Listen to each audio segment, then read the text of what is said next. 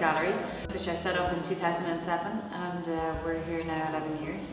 Today we are in conversation with Peter Burns. Peter is making inroads in the international scene now, which is really great. I, I just love to see him coming from BFA stage to reaching the international stage. He shows in London, New York and Miami and is getting more and more traction in those markets and um, more and more following. I mean, it's a very long road for an artist and it's very, very difficult to get art, particularly Irish art, on the international stage because there aren't the supports that are required for it. So you have to be very, very lucky. And fortunately, Peter has been. My second solo show here in the gallery. I've also done a, a couple of two-person shows and been involved in, in, many group exhibitions over the years. This exhibition is called Wayfarer and uh, it refers to a figure sort of that recurs in my work um, over the years. And it's like a, a, person travelling on a road um, and we just decided, I think Rosemary came up with the title, we decided that it might tie this body of work together. With a lot of my work, I try. I, I use sort of archetypal themes, um, themes that I draw. I mine art history heavily for the themes, and they're from mythological, biblical subject matter, and I just try and give them my own uh, unique uh, twist, I suppose. The colour is, is, often heightened, and I do that to try and make the work um, almost hyper real, well, kind of very, you know, in, engaging. I think it's on the edge of being attractive and uh, sort of not easy to look at as well.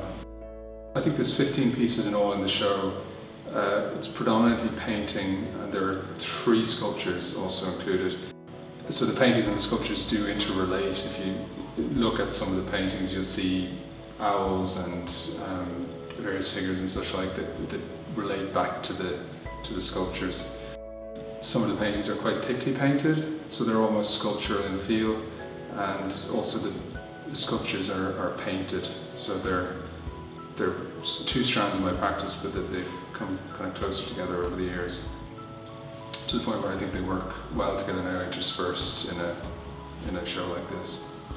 I like to do um, conversations with artists where possible in the gallery so that the exhibition can be marked and so that there's a lasting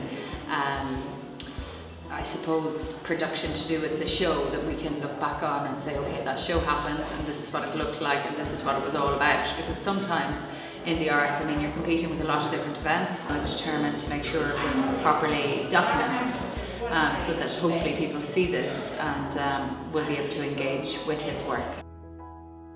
When you started in your career and you showed here 10 years ago, um, your work was much more allegorical and the references to mythology and um, you know art historical references were more tangible. And I think you've moved into your own um, your own sort of vernacular now. It's it's it's not as um, readily accessible we'll say. You can't decode them with the titles the way you maybe would have your other ones. Why did murder come into your work about five years ago. Uh, that's a good observation, but I like I don't really think of that as being that obscure. It's it's pretty much the Cain and Abel thing. Yeah.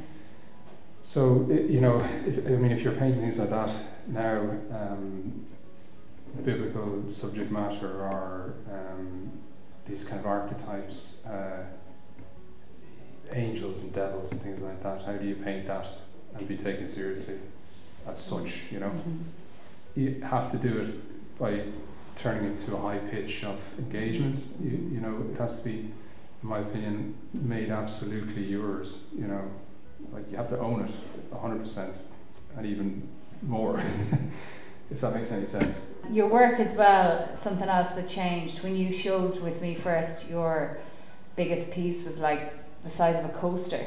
Mm. Um, so obviously it's gone up in scale big time. And did you was that a conscious transition or did it how did how do you find what's the difference between working small and working big like?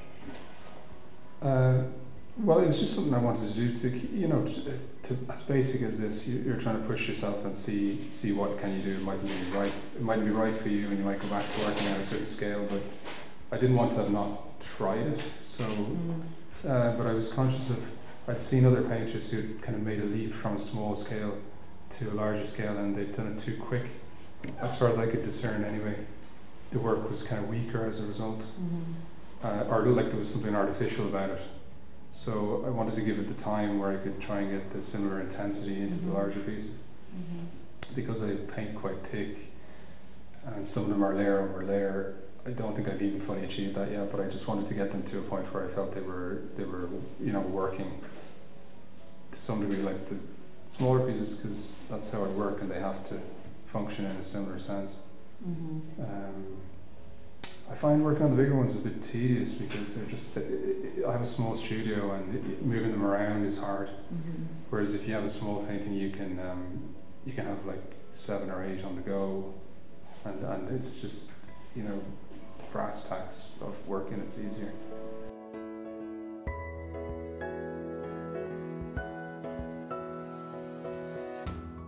The questions and answers here from the floor this evening, I, I felt um, there was a real engagement with the work, and Peter was very uh, insightful and offered, I think, a good um, access into his work, opened it out for people made it more interesting.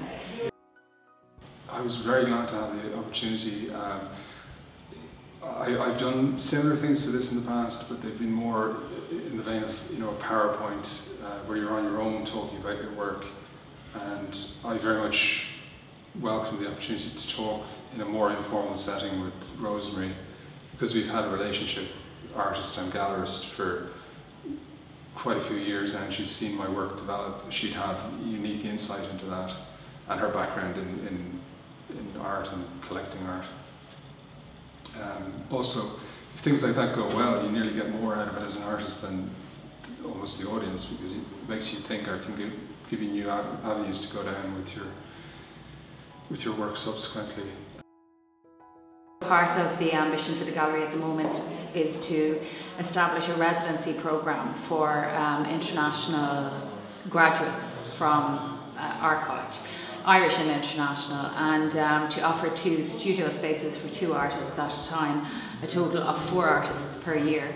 And on foot of that, to offer ex an exhibition opportunity to one of those artists here in the gallery, which would act then as a platform for the artist in Ireland and hopefully propel them towards showing in other galleries, other exhibition spaces in the country, and also a way for me to keep my finger on the pulse internationally with what's coming out of art schools in um, the US and the UK and throughout Europe. So that would be something I'm quite excited about developing now. Um, other than that, I'm going to keep going as I have been going.